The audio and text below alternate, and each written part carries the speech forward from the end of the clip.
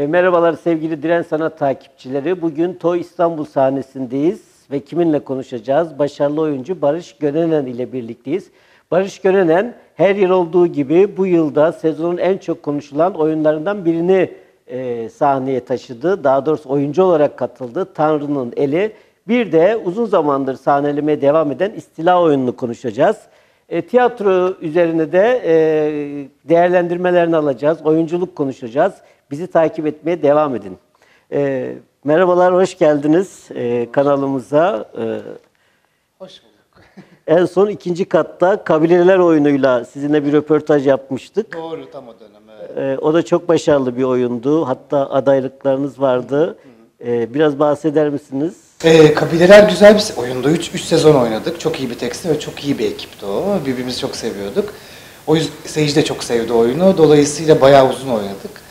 Ee, 2017 yılında bitti. E, peki şeyi sormak istiyorum. İşte e, tiyatro 02, ikinci kat 02 ile başladınız tiyatroya.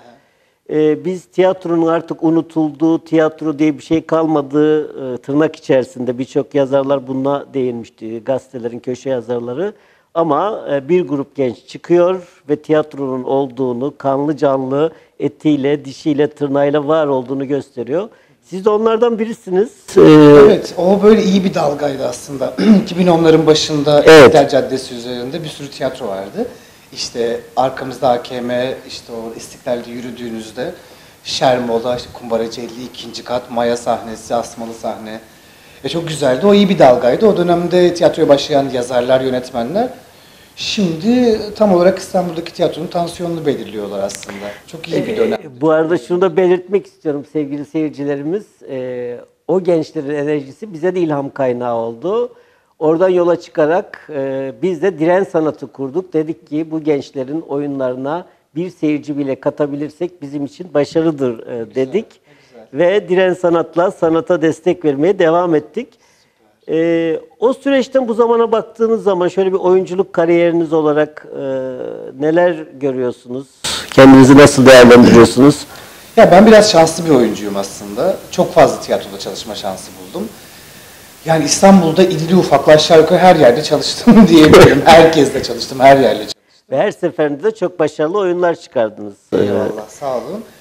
Ee, tiyatro değişti, dönüştü biraz. Yani bu olumlu mu olumsuz bir şey mi bilmiyoruz. Yani bunu belki önümüzdeki 5 yıl sonra göreceğiz. Her zaman öyledir.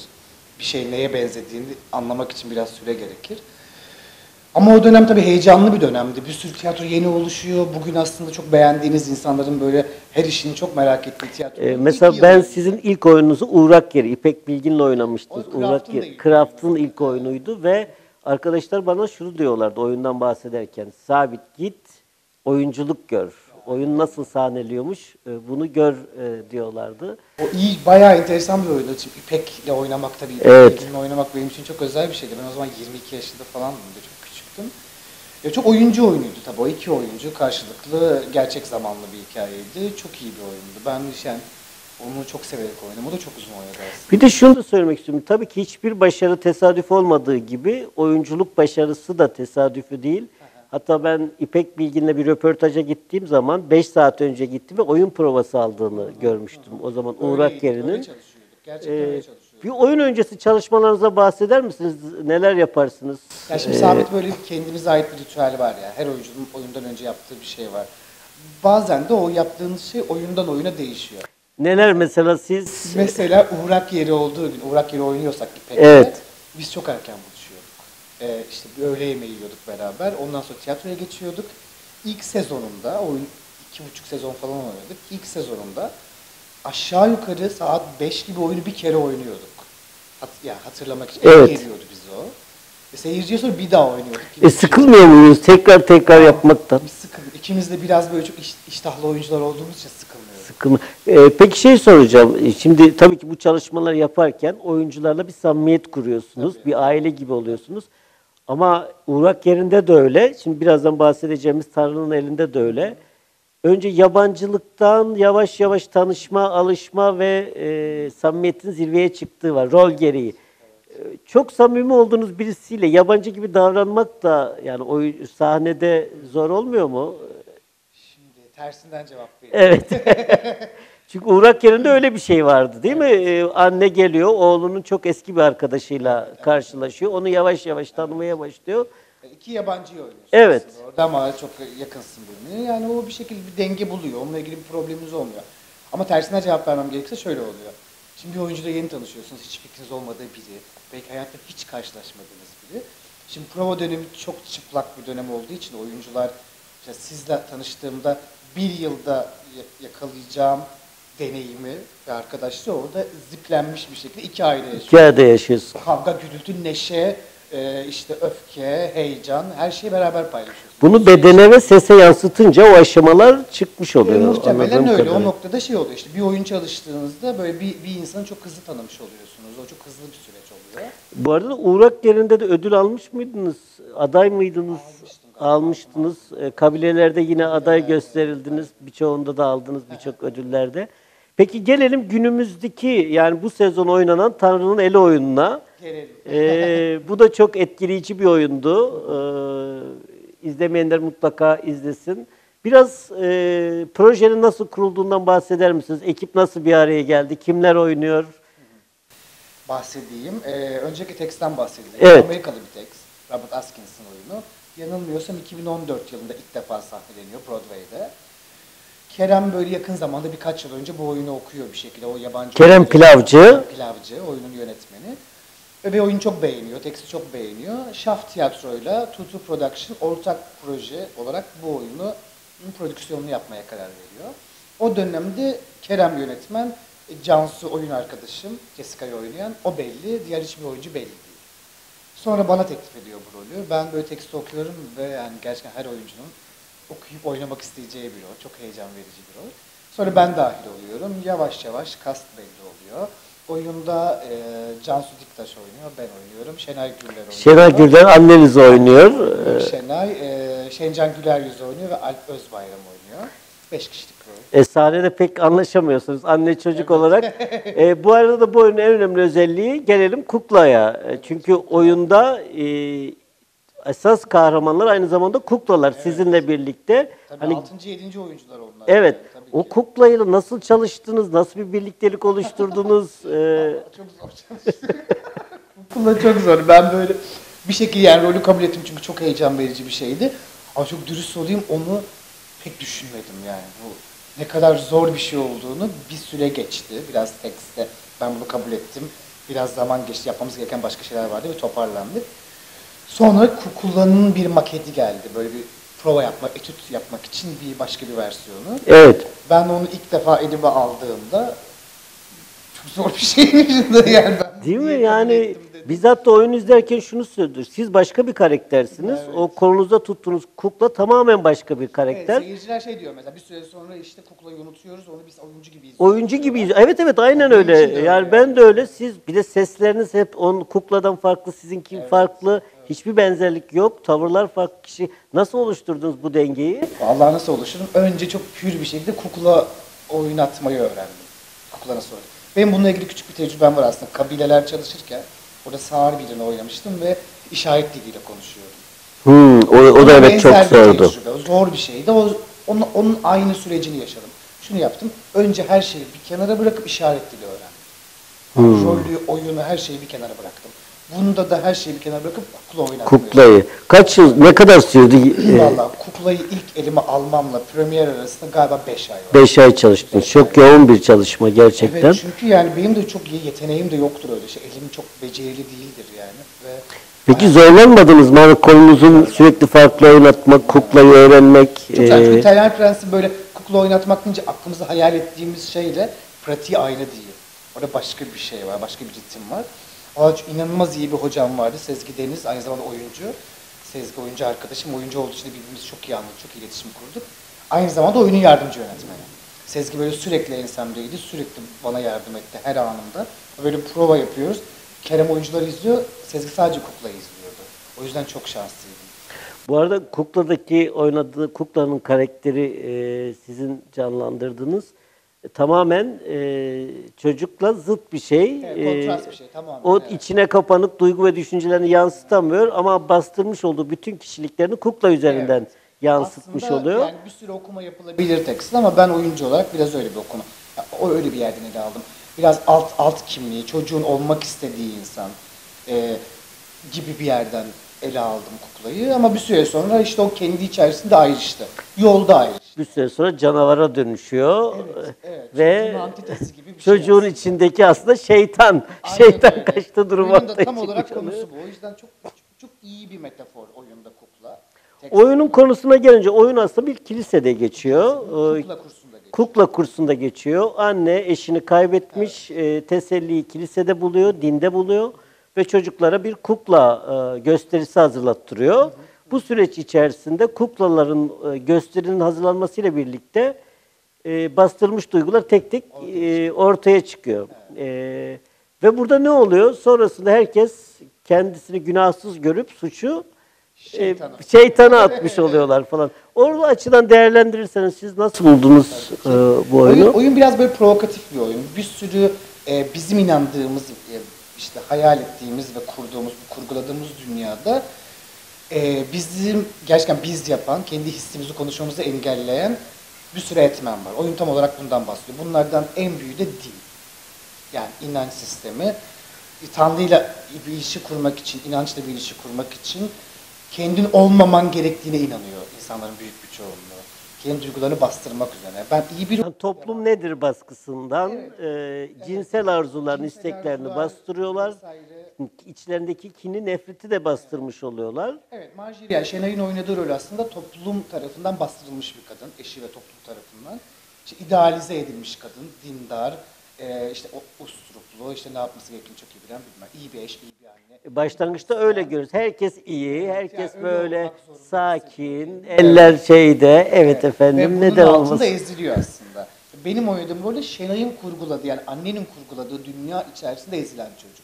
Oyun bu bakımda biraz insanların ikiyüzlülüğünü anlatmış oluyor. İki, hem Ee, iki yüzlülüğünü aslında yani iki yüzlülük de denebilir. Nereden baktığımızla alakalı. Hem de insanın acıklı bir durumun içinde olduğunu da gösteriyor. Çok acıklı bir durum. Yani aslında e, o kadın böyle şeyler yapmak istiyor. İçinde bu var. Ve bu aslında kötü bir şey değil.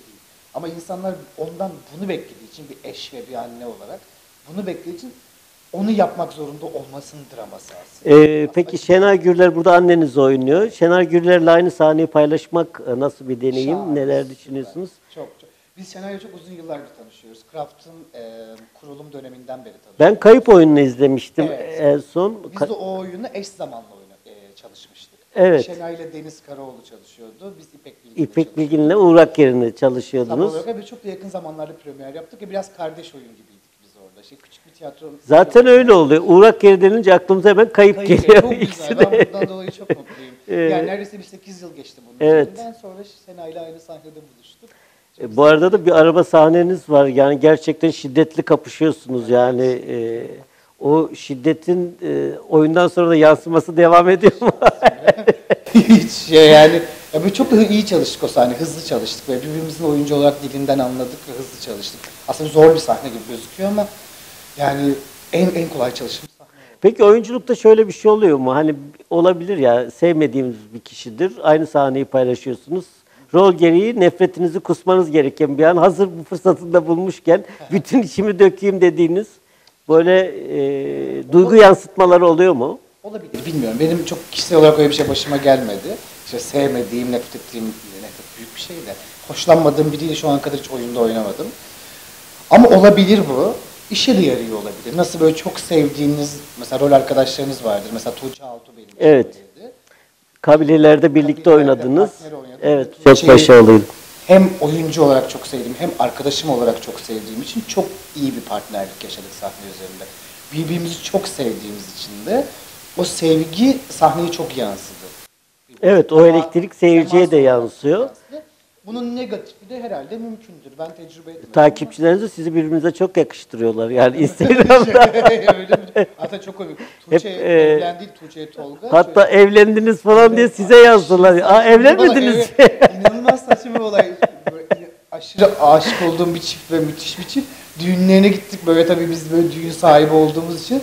Sonra tutuyla tabii ki böyle bir Ondan sonra herkes size hayırlı olsun. Tebrik Hayırlı ederim. olsun, çok yakışıyorsun. inan- İnanılmaz şey. Kimse böyle işte tıklayıp bir sonraki hamleyi görmek istememiş. Çünkü düğünden fotoğraflar da var. Evet. Ama böyle ilkokul arkadaşlarım falan mesaj atmış çok sevindim. Çok sevindik birbirinize yakışıyordunuz. Kabilelerde bir aile çıktı. evet öyle şey yani. Billy ile Sylvia işte so- mutlu sonu gibi böyle tuhaf. Şimdi e, bu oyunda bir de rahip olayı var. E, rahip karakterinden bahseder misiniz? E, O da aslında bu oyun biraz böyle metaforları ve temsiliyetleri çok önemli bir oyun. İşte herkes aslında bir şeyi temsil ediyor toplum içerisinde. E, Rahip Greg de, e, Şencan Güler Yüz'ün oynadığı rolde biraz o din e, o da aslında bir şeylerden kaçıp dine sarılıyor. temsiliyet. E, adam adam aşık oluyor aslında. E, hoşlandığı bir kadın var. E, yalnız hissediyor kendini. E, çok önemli bir tiradı var oyunda. Ben yalnızlığın ne demek olduğunu çok iyi biliyorum ve artık öyle olmak istemiyorum diyor. Ama kendi personasına baktığınızda dünyanın en yalnız mesleğini seçiyor. E, papaz Evet, gibi. değil mi? Yani yalnızlar. Yani oyundaki aslında bütün roller başka başka açılardan aynı hikayenin kahramanları. Hepsi. Aslında oyunda mesela dekoru biz ilk geldiğimiz zaman dekor bize çok absürt gelmişti. Ee, tam olarak anlayamamıştık hani dekorun e, e, tabii oyunla birlikte hani karakterler açılıyor, iç dünyalarına giriyoruz. O dekorun da iç dünyasına girdiğimiz zaman ve orada gerçekten e, çok iyi bir ambiyans kurulmuş oluyor. Oyuncularla, dekorla, e, işte kurulan afişlerle bağlantı kurulmuş oluyor. Bu açıdan da dekorunu da ta- tebrik ediyorum yani e, tasarımını. Mercan'ın, e, projesi. O Şimdi burada tabii ki e, özellikle bu e, oyunun en çok etkilerinden bir tanesi kuklanın olması. O yüzden durmak zorundayım kukladan. E, ve kukla iki kuklanın bir sevişme sahnesi var. E, çok gerçekçi. Hem orada kuklayı oynatanlar farklı bir şey konuşurken, normal bir şey konuşurken bir anda onların içlerindeki yaşamalarını istediği şeyi kuklalar yapıyor. Orayı ne kadar çalıştınız? Çok zor bir sahneydi. Çalıştırdı o. O sahnenin zor tarafı şu. Kuklalarla bir şey yaparken biz Cansu'yla bambaşka bir şey oynuyoruz. Gayet soğukkanlı, hiçbir şey Kontrast bir olmamış şey. gibi. Bir, bir nokta duygusal bir şey oynuyoruz. Orada hatta bazen e, ilk premierde falan çok e, düşündük onu. Çok güleceklerini biliyorduk o sahne çünkü absürt çok komik bir sahne. Ama biz orada çok duygusal bir aks oynuyoruz. O zaman nasıl olacak falan diye böyle kafamız çok karışıktı. Ama şimdi 10 oyun falan oynuyorduk. Onun içinde daha rahatız. Yani orada aslında yine oyunun dramaturjisiyle ilgili çok önemli bir yazarlık buluşu var. Çocukla bir şekilde hiç kimse iletişim kuramıyor. Bu içinde bulunduğu durumdan dolayı. Kuklasıyla konuşan bir çocuk. Ya kız ya Jessica oyundaki aslında en duyarlı, empatisi yüksek ve iletişim kanalı en güçlü insan. Onu temsil ediyor. Ve çocuğa onun anladığı dilden konuşuyor. Yani kuklayla konuşuyor. O yüzden aslında çok önemli. Oradan da hikaye çözülüyor zaten gibi bir şey oluyor. Peki burada bir şey oluştu mu? Ee, Ya bir takılma çünkü biraz oradaki ritmin kopması oyun o, o sahnenin düşmesi demek oluyor. Evet. Yani çok Ee, şey, koreografik çalışılmış bir şey aslında. O yüzden de ne yaptığımızı ne yaptığımızı bakmadan yapıyoruz zaten o şey. O yüzden insanlar da biraz etkileniyor. Bir süre sonra refleks haline geliyor hareket. yani öyle işte bir sürü refleks oluyor. Birbirimiz elini hissediyoruz. Kukla oynatmak çok tuhaf bir şey. Elin artık böyle başka bir şey oluyor senin için. E, Peki e, iki farklı ses kullandınız bu ku- kuklayı canlandırırken. E, Neden iki ayrı sesi tercih ettiniz? Ee, yurt dışındaki versiyonlarında böyle tek sesle o, o, onu konuşanlar da var. Ben bilmiyorum. İçgüdüsel olarak onu tercih ettim. Ya bu sizi daha çok zorlamadı mı? Ya oyuncu Vallahi açısından. Çok zorladı, aşırı zorladı. Zaten istila da şimdi oynuyorum, bahsederiz. Onda da böyle bir sürü sesle oynuyoruz hepimiz, bütün oyuncular. Çünkü çok rol oynuyoruz.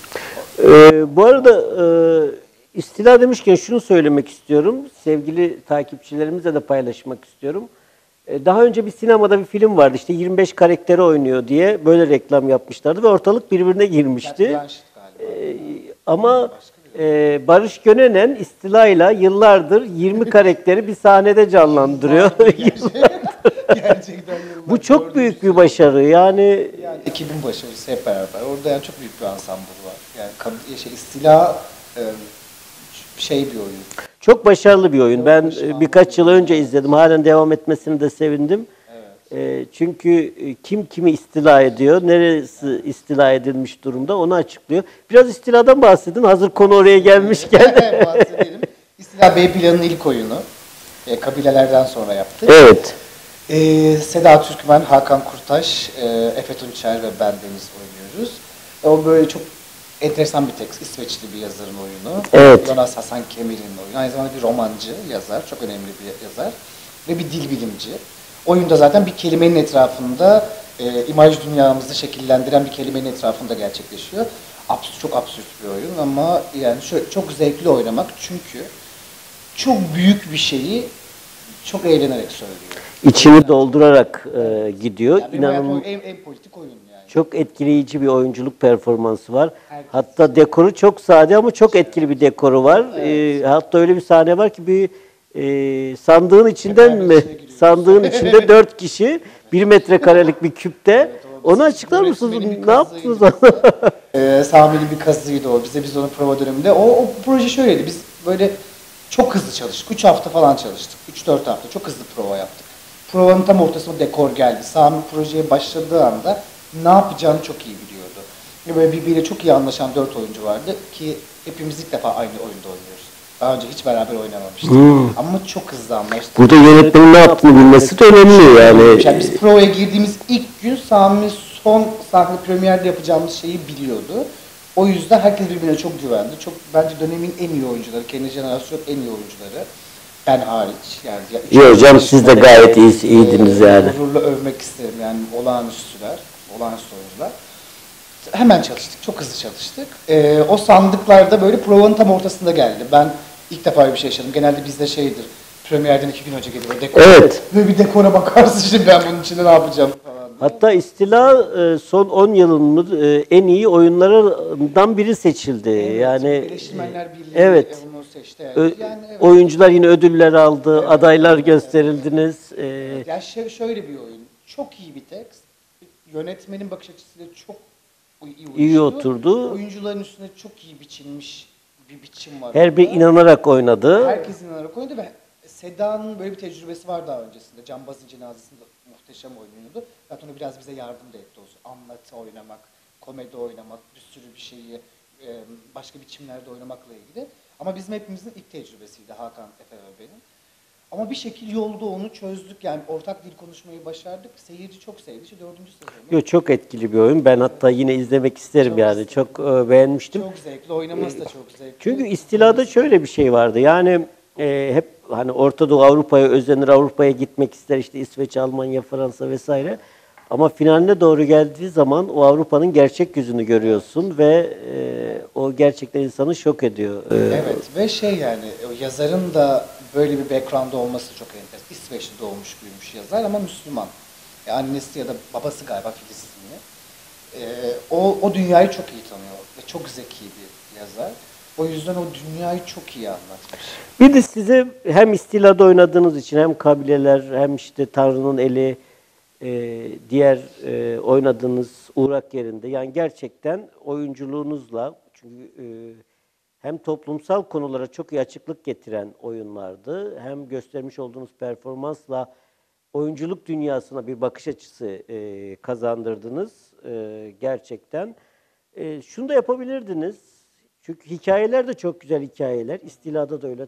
O hikayenin arkasına saklanabilirdiniz. Hikaye zaten akıcı deyip e, oyunculukta da kendinizi de zorlamadan ya da yenilemeden e, gidebilirdiniz. E, neden sürekli daha iyisini aşmaya çalıştınız? Sürekli başımı belaya sokuyorum. Ya mesela kabilelerde resmen işaret dilini öğrendiniz, aylarca çalıştınız e, ve çok çok e, başarılı bir çalışmaydı ekiple. İstila yine öyle. E, Tanrı'nın elinde yine bambaşka bir alanda kendinizi aşacak bir çalışmalar yaptınız. Ya biz çok zor bir iş yapıyoruz. Bence dünyadaki bütün oyuncular için geçerli bu. Ama çok da zevkli ve şanslı bir iş yapıyoruz. Yani eğer o mesleğe olan yaklaşımın e, de bitmezse onu öğrenmek, çabalamak, her seferinde daha fazlasını yapmak olağanüstü şeyler öğreniyorsunuz. İşte kukla oynatmayı öğreniyorsunuz bir oyunda. Bir oyun çalışıyorsunuz, işaret dili öğreniyorsunuz falan filan. Ben biraz şanslı bir oyuncuyum. Çok iyi roller karşıma çıktı. Bu biraz şans bir şey. Ama sonuçta siz seçiyorsunuz. Yani istemeseniz oynamazsınız. Valla ben öyle rolleri oynayıp kolay kolay bir oyuncunun yok ben bunu istemem diyebileceği roller. Roller ben değil. şanslıydım. İyi şeyler karşıma çıktı. Benim çok yetenekli oyuncu arkadaşlarım var. Çok yetenekli. Hayat bir şekilde başka türlü akabiliyor ve karşıda çıkamayabiliyor. Öyle roller. Ya bir rolün kendinize uygun olduğunu nasıl anlarsınız mesela teksti okuduğunuz Valla zaman? nasıl şöyle anladım. Bana uygun olup şöyle ben bütün teksti sevmek isterim önce. Rolü değil de teksti. Bütünü, evet. Bütünü sevmek isterim. Hmm, Bunu ben oynarım, ben oynayabilirim de şöyle hissediyorum. Bir şey okurken onu hayal edebiliyorsam, hayal kurmaya başlıyorsam oynamak istiyorum. Yani Bana hayal kurduruyorsa o rol. Bünyenizde birleşebiliyorsa, iş Kimya- dünyanızla. kimya bir şey yani seni böyle bir heyecanlandırması, onu üç boyutlu görmek, o sahneyi okurken orada can, kendin oynarken onu görmek ve o sana bir şey veriyorsa, bir, bir bilmiyorum enerjisel bir şey galiba. Ben o konuda hiç yanılmadım şu an. Ama şu mesela korkutmuyor mu? Burada mesela kukla var. 5 ay çalışıyorsun bu kukla için. Ya bu rolü oynayacağım zaman 5 ay ekstradan çalışmak zorundayım deyip çekinebilirdiniz. Evet yani böyle bir bakış açısı da var ama oyunculuk konforlu bir meslek değil. Konformist olabileceğim bir meslek değil. Ee, bu işi konforlu bir alanda yapan oyuncular çok çok görünüyor zaten sahne üzerinde. Ee, Yani- temas etmediği gözüküyor. yani gerçekten biz de bu oyunları incelediğimiz zaman şunu görüyoruz. Yani Barış Gönenen oyunculuğun da bir sanat e, olduğunu bize ispatlayan kişi e, demek istiyorum. Ben, e, mesleği öyle insanlardan Evet. öğrendim. Bu benim e, alameti farikam değil. Ben mesleği öyle öyle yaklaşan, mesleğini öyle yapan insanlar benim hocam, ustam. İpek gibi, Deniz Sürkali gibi, e, Banu Çiçek Barutçugil gibi beraber sahneye çıktım. Benim çok kıymetli oyuncular var. Ayşe Lebriz gibi, kendi üst jenerasyonundan bahsediyorum. E, bu işi böyle yapan insanlarla çalıştığım için mesleği böyle yapmayı öğrendim. Dolayısıyla Yani çünkü ben birçok sanatçı da var. Sese sarılıyor ya da tecrübesine sarılıyor. Hani nasıl olsa gider diyen e, o, da işte o herkesin kendi yolu. çünkü kimse de oturup yani hakikaten kolay da değil. Bir kuklayla 5 ay çalışıp geceli gündüzlü her aşamasını, her detayını farklı seslerden Değil, çıkarmak. Değil ama oyuncu, bir sürü oyuncu türü var. Yani bir sürü, bir sürü yaklaşan insan var. Oyuncuları çok hırpalamamak lazım. Ben oyuncuları, çok, oyuncuları çok severim. Her oyuncuyu Ee, çok severim. Ya, mesleği yapan herkesle bir barışıklığın doğuştan... Biz de çok seviyoruz. var. Sanatçının her Evet. zaman yanındayız. O yüzden diren sanat diyoruz. şöyle oluyor aslında. Tabii ki. Tabii ki. Ben şöyle yaklaşıyorum biraz. Bazı oyuncular görüyorsun böyle abi böyle çok bir şeye temas etmiş orada. O rolü çok iyi çalışmış ve o rolü anlamış ya da anlamaya çalışmış. Bazı oyuncuda onu göremiyorsun. Bu aslında oyuncunun yetersizliği değil bence.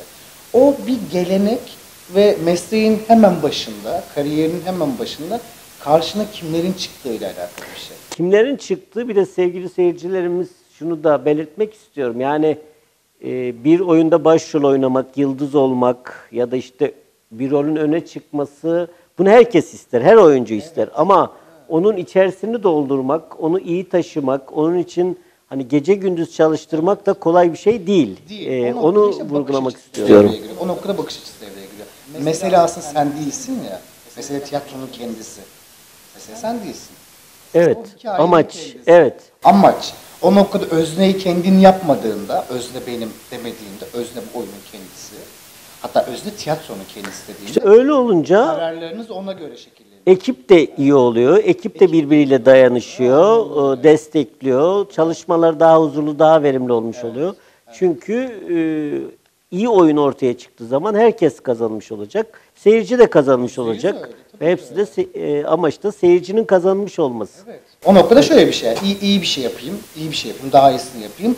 Tabii ki kendim için, kendime karşı sorumluluğum için ama bir noktada da işte daha geniş bir açıdan baktığınızda mesleğe karşı sorumluluğunuz, biraz daha büyük, tiyatroya karşı sorumluluğunuz, seyirciye dolayısıyla. Biz de seyirci olarak sizi takip etmeye devam edeceğiz oyunlarınızı. E, başka oyunlarınız var mı? Yeni Başka projeleriniz? oyunlarım, Yeni projem yok. Bir süre dinlenmek istiyorum. Bu oyun bayağı gider ama yani. Evet, iki oyunda oyun bayağı zaten gider. Çok hırpalıyor oyun. Yani çok yoruluyorum oyununda. Yeni bir şey çalışmam uzun bir süre mümkün değil. Ne var? İstila var. İst- Tanrı'nın eli var. Balat Monoroklar Müzesi var. Evet, o da devam ediyor. O da 4 yıldır çalıştığımız bir proje. Ahmet Sami Özbudak onun kreatörü ve işte yapımcısı, yaratıcısı. O da Balat'ta geçiyor. O da o da takip ediyoruz e, sahneleri. Çok seviyoruz o projeyi çünkü o proje bir yazarlık projesi.